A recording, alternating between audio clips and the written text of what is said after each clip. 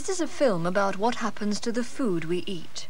We shall explore the route which it takes through our bodies and look at some of the important organs which process that food so that our bodies can make use of it.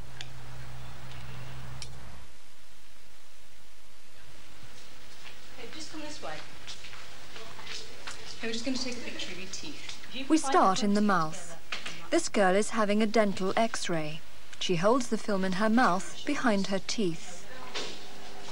Now, if you can walk into this machine and rest this part of your chin against the plastic bit there. Forehead against the front. Okay, so just keep nice and still like that. Okay, very still now. This special camera beams x-rays through her teeth onto the film. It produces a sort of panoramic picture of the teeth, rather like the camera used to take a group photograph.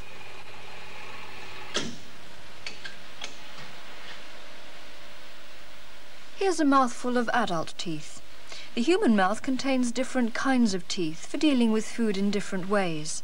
There are molars, grinding teeth, and incisors, cutting teeth. The dentist's been busy. There's a pin fixing an artificial crown to the roots. A child's mouth.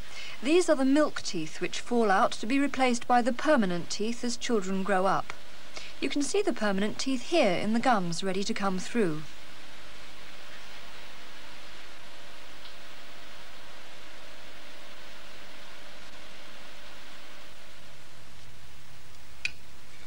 We eat both meat and plants. That's why we have that assortment of teeth.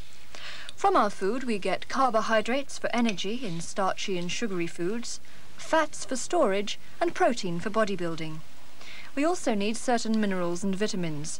We obtain all of these from a proper mixed diet of meat, dairy products, bread, fruit and vegetables. The process of digestion starts in the mouth. We chew the food and soften it with saliva, which contains an enzyme, a chemical substance which begins to break down some of the food. The food then passes down the food pipe, the esophagus, to the stomach.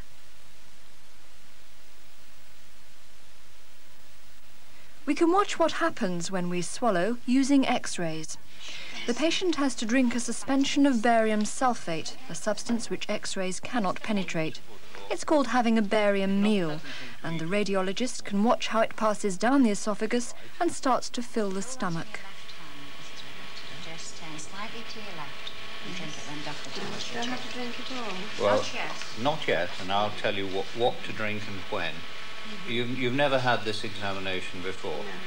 Right. Watch.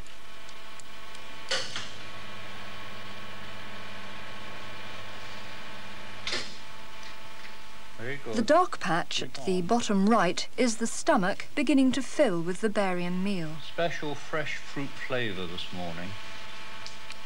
Now you can see the stomach filling quite clearly as she drinks more of the liquid.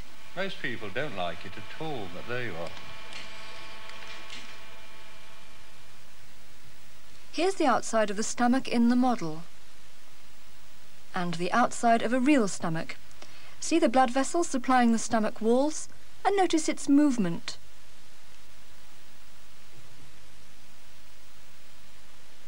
The model again. The stomach's a sort of bag. From its lining it secretes another enzyme and also hydrochloric acid into the swallowed food. It also produces, as the mouth does, mucus.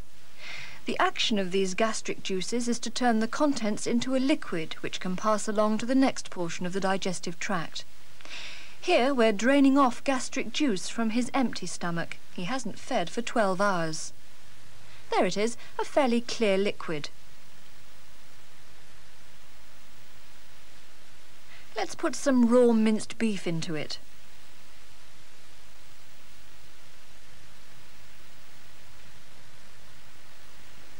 We'll now keep this at body temperature for some hours and see what happens. Here we are. You can see that the gastric juices have acted on the beef, breaking it down. Any solid lumps will eventually disappear. After some time, depending on what's been eaten, the stomach contents empty through the narrow end there on the left.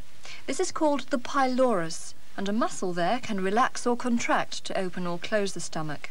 Here it is in action from inside the stomach.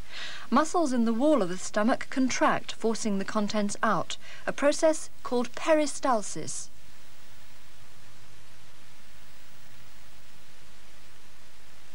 The pylorus opens into what's called the duodenum.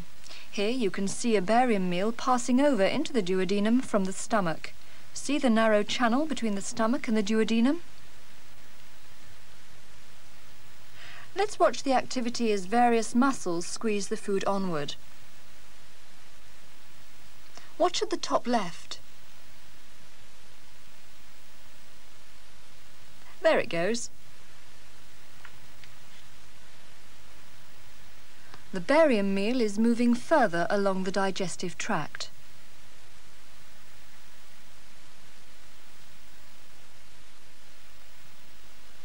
Let's look at the model again. The organ coloured green on the underside of the brown liver is called the gallbladder. A thin tube, green again in the model, connects this with the duodenum, bringing down a liquid called bile, which helps dissolve fats in the food. And you can see another white connection into the duodenum. It comes from this sausage-shaped organ called the pancreas. The pancreas produces a variety of important enzymes and other substances to mix with the liquefied food and start breaking it down into substances the body can use.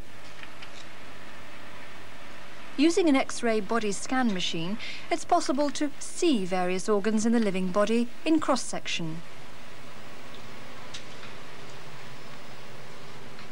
There are the spine, ribs and pelvis. And if we look at a cross-section at the level of this dotted line, there's the liver and the gallbladder and the pancreas shown very clearly. From the duodenum, the food, mixed with gastric juices, bile and substances from the pancreas, passes into the small intestines, where very important chemical processes turn parts of the food into substances which the living body can absorb. There are about three metres of coiled intestine.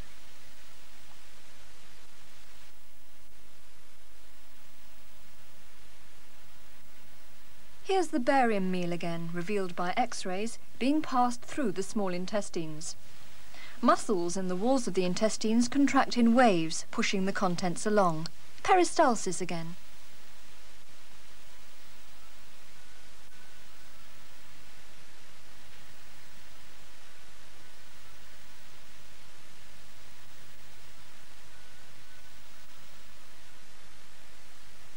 Outside of part of the small intestine. You can see the muscles contracting, squeezing food along.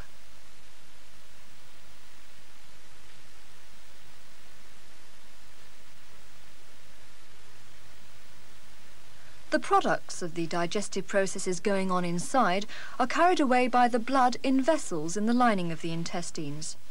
It's through the small intestines that food substances are at last absorbed into the body. There's a complex network of blood vessels which carry these substances from the intestines to a very important organ indeed. The liver.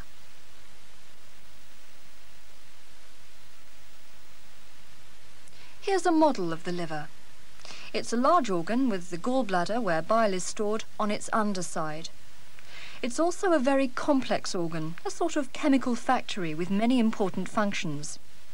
It's in the liver, for example, that the chemical substances produced in the digestive tract from our food are turned into various materials which the body needs. The liver also deals with the fats in the body when they have to be turned into suitable fuels for energy, and it has many other functions as well. These are some of the blood vessels in the human liver where these processes are carried out. They're using the technique of nuclear magnetic resonance, high-frequency radio waves in a magnetic field, to create pictures of the organs in the body. Here's a cross-section. This is the outside of the body. The back, the front, sections through the two arms,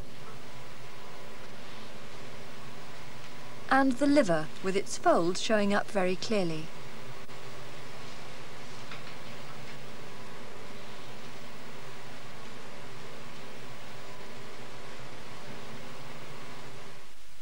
The liver then is a very important factory, converting chemical substances from the food into materials for our living bodies. Blood from the lining of the small intestines carries substances to the liver where they are suitably processed. Then when, for example, energy is needed for any movement, material processed in the liver is carried by the blood to the muscles concerned to be burned as fuel. And remember, there are muscles in action in our bodies every moment of our lives.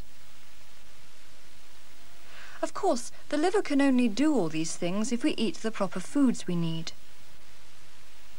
When it reaches the end of the small intestine, all the useful food material has been extracted. What's left now enters the large intestines. Here's the start of the ascending colon, up which waste material is now squeezed by peristalsis. And this is the appendix, which sometimes becomes infected.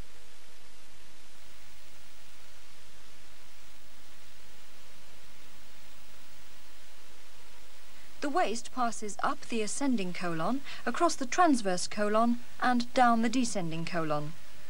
While this is happening, water is extracted from it through the walls of the intestines. Finally, in the rectum, it is stored as semi-solid feces until it is passed out of the body.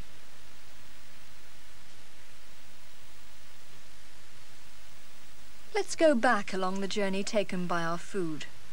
The intestines, the stomach,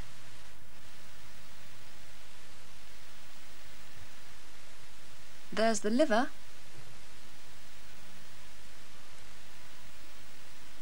and this is the omentum, a protective apron over the intestines.